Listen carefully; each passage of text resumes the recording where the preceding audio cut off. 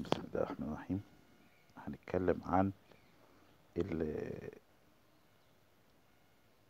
حالة تانية اللي هي acid catalysis acid c... إحنا اتكلمنا عن الإثبات acid catalysis acid catalysis هي عبارة عن إن حامض بيتحط على substrate بيدينا activated complex و conjugate base وال activated complex ده يا إما بيتشد لورا تاني تفاعل عكسي زي ما إحنا شايفين يعني نشرح بقى. إيه دي؟ حامض اهو BH positive أو مادة. حاملة بروتون بحط لها بحط لها مادة متفاعلة إن أنا عايز أفعلها. بيديني SH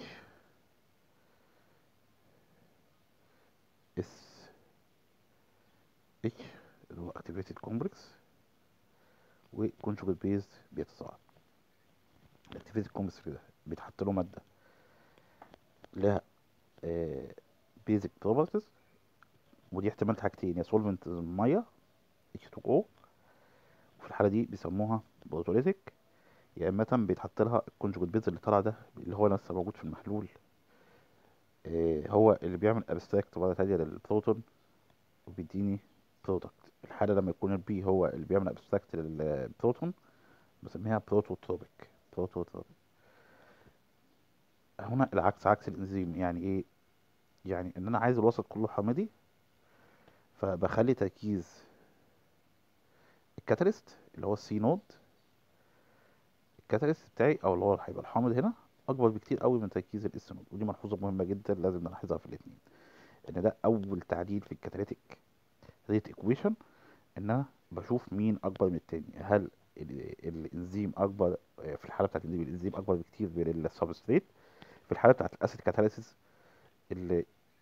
الحامض أكبر بكتير من ال substrate طيب هنا بقى ال Y اللي هي بتصاعد في الخطوة الأولى اللي هي ال B اللي هي ال conjugate base ال C catalyst اللي هو BH plus BH بروتون المادة الحاملة للبروتون ال X activated complex SH positive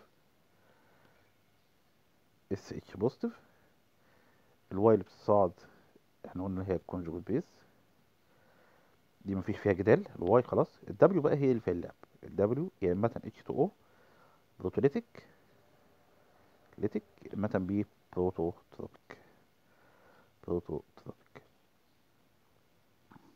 ماشي. يبقى ده كده ده التعديل بتاع ال rate equation هو بيبقى شكله عامل كده هو أو التعديل بتاع ال mechanism المعادلات بيبقى عامل كده اهو BH plus زائد S بيساوي SH زائد B SH plus يا إما مع B يا إما مع H2O وبيديني product مفيش Z طبعا. بقول لك ملحوظة المفروض BH positive هو الحامض الذي يحدث له dissociation له Ka طبعا. لازم نضيف له ماء بيتحط له مية طبعا. يعني هو بيبقاش لوحده الحامض إحنا بنستخدم أحماض آه، مخففة بالشكل ده. ده الشكل العام بتاع الحامض اللي بيستخدم. يعني هو من الآخر كده ال catalyst بس ده ما بيبقاش شكله كده على طول بيبقى ناتج من تفاعل حاجات تانية ال BH plus ال H2O مش هو الحمل ال direct لل- للبروتون. طبعا في Ka هنا dissociation constant بتاع ال- الحامض. هيدينا hydronium ion زائد base hydronium ion زائد base فمعنى كده إن ال Ka بتساوي H3 طبعا dissociation عادي H3O في ال base conjugate base بيطلع على ال BH plus اللي هو ال reactant ال reactant طبعا المية هنا ملهاش تأثير يعني هو تركيز ال product على تركيز ال reactant هو هنا آه، هجيب الحامض مع ال conjugate base بتاعه اللي هو كان الدكتور بيقول اللي هي زي مراته يعني أو زوجته. catalyst BH لود مع ال conjugate base بتاعه.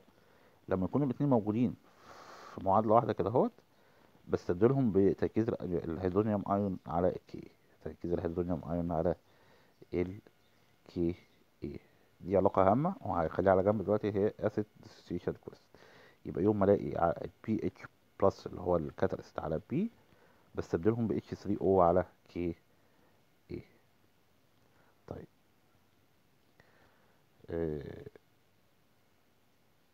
طبعا هنا هيبقى عندي حالتين كبار جدا اللي هو protolytic إن أنا هستخدم solvent مية و prototropic اللي أنا هستخدم conjugate base طب نشوف الفيديو الجاي إن شاء الله هنعمل إيه في ال- أول حالة اللي هي protolytic mechanism protolytic mechanism يبقى هو في اتنين mechanism ين رئيسيين protolytic و prototropic اللي هو المية بتعمل abstract البروتون وال prototropic اللي هي ال conjugate base بتعمل abstract للبروتون نشوف المرة الجاية الحالة الأولى اللي هي حالة الماء اللي هي protolytic mechanism شكرا ونشوفكم الفيديو الجاي.